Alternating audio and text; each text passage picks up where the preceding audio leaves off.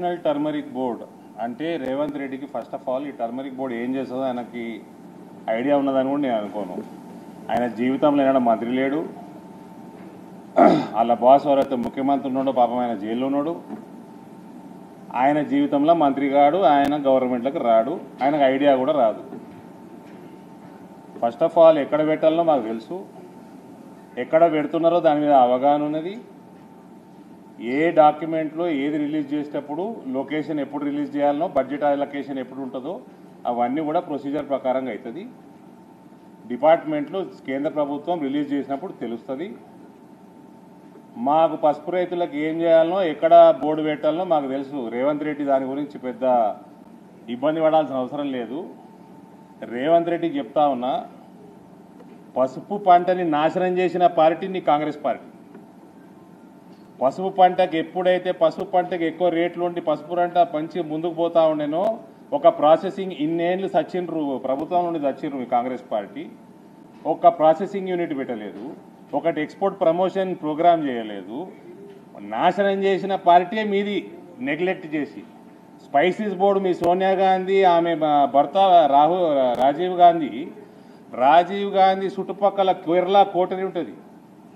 ఒకడు మాధవన్ అని ఒకడు ఇంకోడు ఆ, పిల్లే అని ఇంకొకడు మొత్తం కేరళ కోటరీ ఉంటుంది. అసలు పసుపు మిర్చి తెలుగు రాష్ట్రాలలో టాప్ ఫోర్ పంటలలో స్పైస్ బోర్డులా టాప్ ఫోర్ పంటలు ఎక్స్పోర్ట్ చేసేది పైసలు సంపాదించేది స్పైస్ బోర్డుకి ఈ రెండు. తీసుకుపోయి ఒక్క వన్ పర్సెంట్ కేరళ నుంచి ఒక్క శాతం పైసలు రావు స్పైస్ బోర్డుకి దేశానికి స్పైస్ బోర్డులో వచ్చిన పైసల్లో. ఒక్క శాతం రాదు. ఈ కేరళ కోటరీ చేయబట్టి పోసుకపోయి ఆడ జార్జ్ అని ఒకడు పిలే అని ఒకడు మాధవన్ అని ఒకడు వీళ్ళందరినీ పట్టుకొని. నువ్వు నీ చరిత్ర నీ కాంగ్రెస్ పార్టీ దిక్కుమాల చరిత్ర ఇటువంటి పనులన్నీ చేసి ఇవాళ మురిగిపోయినరు. నీ నీ చిన్న బాస్ జోకర్ అయితే ఉన్నారు రాహుల్ గాంధీకి. గదే గదే కేరళ గతి పట్టింది. నెక్స్ట్ టైం ఆ కేరళలో కూడా అది అంటారు పోయి లక్షద్వీప్లో పడతాడు. పసుపు పంట నాశనం చేసింది మీ పార్టీ. చెరుకు ఫ్యాక్టరీలని మూసింది మీ పార్టీ. ఈ మీ పార్టీ అంటే నాకు రెండు పార్టీలు ఉన్నాయి. ఇప్పుడు కాంగ్రెస్ ఇంతకుముందు తెలుగుదేశం. చెరుకు ఫ్యాక్టరీలని అమ్మిన పార్టీ తెలుగుదేశం పార్టీ ప్రైవేటైజ్ చేసింది. దాని తర్వాత కాంగ్రెస్ పార్టీ పదేళ్ళు ప్రభుత్వంలో ఉంటే ఏం బికిర్రు కాంగ్రెస్ పార్టీ? ఎందుకు చెరుకు ఫ్యాక్టరీలు తెరవలేదు? చెరుకు పంట మటుమాయమైపోయింది. క- కనుమరువు లేదాడా? ఆ ప్రాంతంలో? ఈ మొనగాడు మాట్లాడుతున్నాడు. ఇక ఈయనకి చరిత్ర తెలియదు పంట తెలియదు నిజామాబాద్ తెలియదు ఉత్తర తెలంగాణ తెలియదు ఈ మొనగాడు వచ్చి మాట్లాడుతున్నాడా? బోర్డు ఎక్కడ పెట్టాలో మాకు తెలుసు ఎక్కడ పెడుతున్నారు కూడా తెలుసు మాకు.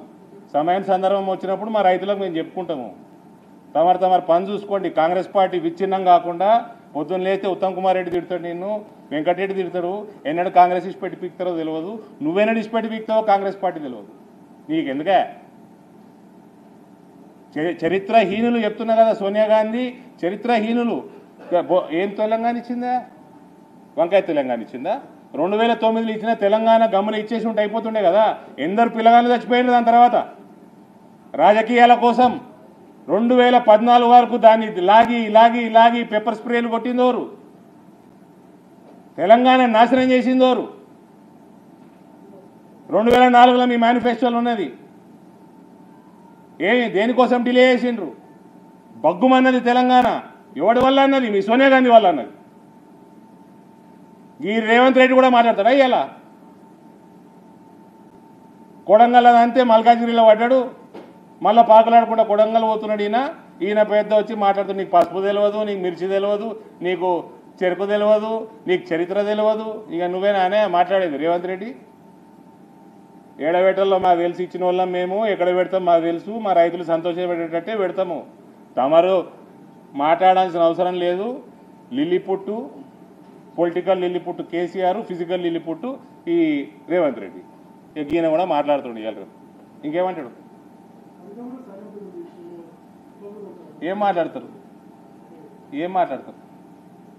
ఇంకోటి ఆ రేవంత్ రెడ్డి మాట్లాడుతున్నాడు ఎన్నో సీట్లు వస్తాయి వీళ్ళకి కానీ అరవై సీట్లు అరవై ఒకటి అరవై రెండు ఎన్నో వస్తాయని నీకు నిజామాబాద్లో ఏడు జాగాలలో థర్డ్ ప్లేస్ ఉంటావా? ఆదిలాబాద్లో అడ్రస్ లేదు. జేవెల్లా మల్కాజ్గిరి సికింద్రాబాద్లో అడ్రస్ లేదు. నీకు సగం పార్లమెంట్లలో నీ అడ్రస్ లేదు. నీకు ఏడుకెళ్ళొస్తాయి అరవై ఒక్క సీట్లు? ఏడుకెళ్ళొస్తాయి అరవై ఒక్క సీట్లు ఎక్కడికి అడ్రస్ లేని పార్టీ. నీకు వచ్చిన సీట్లు కూడా నీకు నెల రోజులు కూడా కలిసి ఉంటారు మీరు. నేను గ్యారంటీ ఇస్తున్నాను నేను. కాంగ్రెస్ పార్టీ గెలిచిన మనకు సీట్లు గెలిస్తే వాళ్ళు కాంగ్రెస్ పార్టీలు ఉండరు. ఈ పార్టీ మళ్ళీ దీనికి దీన్ని భరోసా చేసుకొని తెలంగాణ భవిష్యత్తు దీని మీద దీంట్లో పెట్టాలనా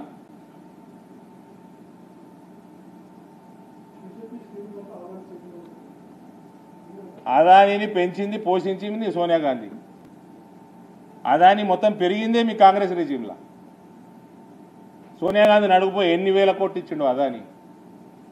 అదానికి భారతీయ జనతా పార్టీ చేసింది ఏం లేదు.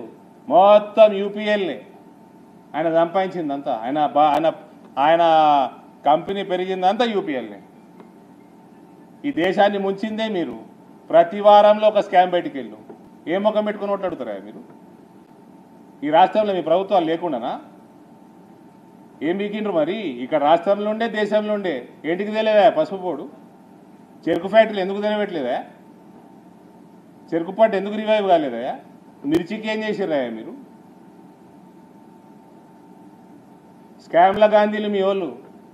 సోనియా గాంధీ కాదు స్కామ్ల గాంధీ ఆమె. ఇక మీకు కూడా తెలంగాణ భవిష్యత్తు మీ చేతిలో పెడితే నిండా నట్టేట ముంచుతారు మళ్ళా.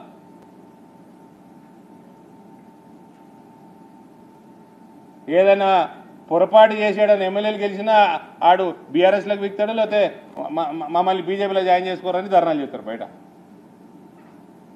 మా ఆఫీస్ బయట. మీద పార్టీ మళ్ళీ దానికి చరిత్ర నువ్వు ప్రెసిడెంట్వి నువ్వు ఏ పార్టీ తెలియదు నువ్వు ఎన్నడూ ఏ పార్టీలో పోతావో తెలియదు నీ పార్టీలో నిన్నే ఎప్పుడు ఈయన బయటకు దారిమేంటి అంటున్నారు? అసలు ఈయన ఎందుకు టాలరేట్ చేస్తున్నారు సీనియర్లు కాంగ్రెస్లో? నాకు అర్థమే కాదు. ఇంకా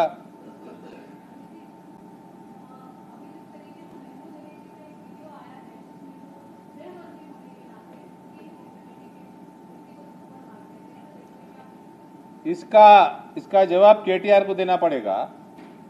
एक गृह मंत्री होने के नाते आप मस्ती चढ़ के आउट ऑफ़ एरोगेंस आप अपने सिक्योरिटी को एक थप्पड़ मार रहे सबके सामने, आप तुरंत रिजाइन करना है। There has to be a case book against the deputy chief minister here who is the home who handles home ministry this is sheer out of arrogance ఎద్దుకూర బాగా తిని అరుగుతున్నట్టు లేదు Mahmood అలీకి this what DGP DGP has to take an action now file a case against Mahmood Ali his personal has been slapped for no reason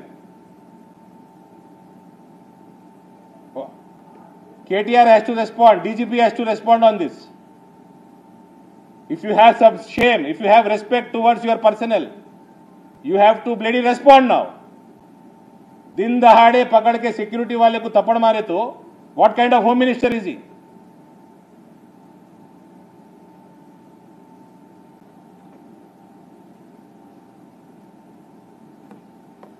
Okay?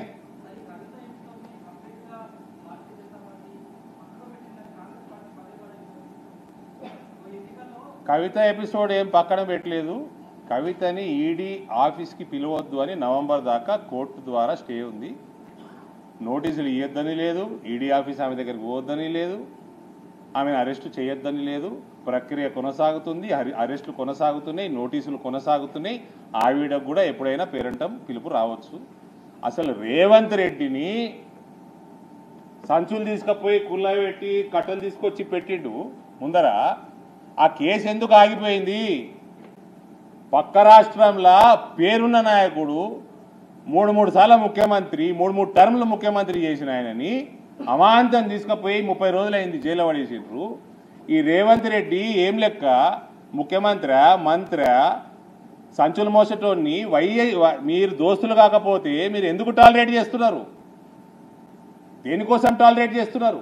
ఆయన quash petition వేసిన కొట్టిపడేసింది court నాకు తెలిసి రీసెంట్గా ఆ కేసు మీద. సిఐడి ఏం ఘనకార్యం చేస్తుంది ఈడ? ఎందుకు పని చేస్తలేదు? కేటీఆర్ రేవంత్ రెడ్డిని బయట ఎందుకు పెట్టినావు? మీ నాయన క్యాండిడేట్లను పంపుతున్నాను వాళ్ళకి కాంగ్రెస్ పార్టీలకి. రేవంత్ రెడ్డికి పైసలు ఇచ్చి. రేవంత్ రెడ్డికి పైసలు ఇచ్చి సభలు చేపిస్తున్నారు. కర్ణాటకలో పైసలు ఇచ్చినట్టు ప్రధానమంత్రి స్వయంగా చెప్పిండు. ఇక్కడ కూడా మీ క్యాండిడేట్లందరికీ ఫండింగ్ రే కేసీఆర్ చేస్తున్నాడు కాంగ్రెస్ పార్టీ క్యాండిడేట్లకి. పోయినసారి మీ క్యాండిడేట్లని కొనేసి నాలుగు రోజుల ముందు గాయబ్ చేసిండు ఫీల్డ్కి వెళ్ళి పోలింగ్ కంటే. మీ చరిత్ర మీ కాంగ్రెస్ పార్టీ చరిత్ర అమ్ముడు చరిత్ర ఒక్కసారి కాదు రెండుసార్లు కాదు అనేక మార్లు అమ్ముడుపోయిన చరిత్ర. నీ నీ పీసీసీ ప్రెసిడెంటే పైసలు ఇచ్చి కొనుక్కున్నామని మీ వెంకటరెడ్డి చెప్పే మీ ఉత్తమ్ కుమార్ రెడ్డి కొనుక్కుతా ఉంటాడు. నీ పార్టీలనే నీకు యాక్సెప్టెన్స్ లేదు. అసలు నువ్వు ఎందుకు చెల్లలేవు నువ్వు కేటీఆర్ ఇద్దరు జవాబు చెప్పాలి దీనికి. ఎందుకు కోర్టుల ఫాస్ట్గా మూవ్ అవుతలేదు లేదు? సిఐడి ఏం చేస్తున్నది? గవర్నమెంట్ ఏం చేస్తున్నది? ఎందుకు ప్రెషర్ బిల్డప్ చేస్తలేరు? ఏమున్నది మీ ఇద్దరి మధ్యలో?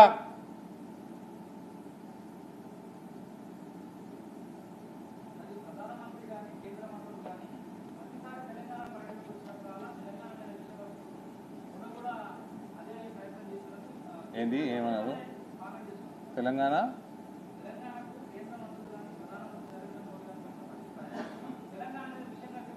ఏం విషయం కాకిరా? ఏం విషయం కాకిరా? కోచ్ ఫ్యాక్టరీ విషయమా? రామగుండం ఫర్టిలైజర్ ఫ్యాక్టరీ విషయమా? కొత్త రైల్వే లైన్లు వేల కోట్ల విషయమా? హైవే నెట్వర్క్లు డబుల్ చేసింది విష విషయమా? పసుపు బోర్డు విషయమా? కొత్త ట్రైబల్ యూనివర్సిటీ విషమా ఈ కేటీఆర్ అనేటోడు మత్తు పదార్థాలు బంద్ చేయాలా? తెలంగాణ సమాజం డిమాండ్ చేస్తున్నది. ఒక డిఫాక్టో సీఎంగా వ్యవహారం చేస్తున్నావు. ప్రతి మినిస్ట్రీకి నువ్వే రిప్రజెంటేటివ్ లెక్క ఉంటావు.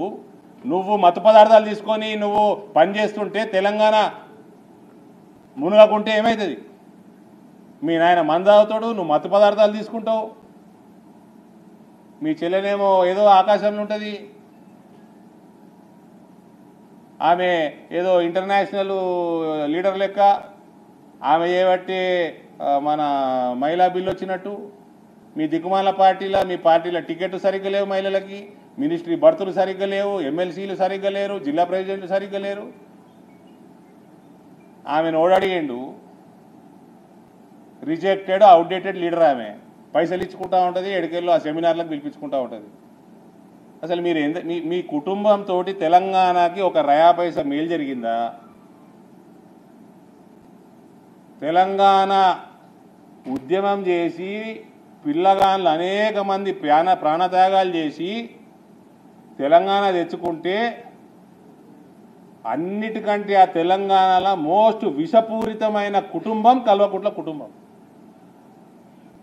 తెలంగాణలో ఏమైనా డెవలప్మెంట్ అయిందంటే కేవలం కేంద్ర ప్రభుత్వ నిధుల ద్వారా అయింది. ఇలా సర్పంచుల పరిస్థితి కూడా ఘోరంగా ఉన్నదంటే వీళ్ళు ఏవట్టే ఉన్నది?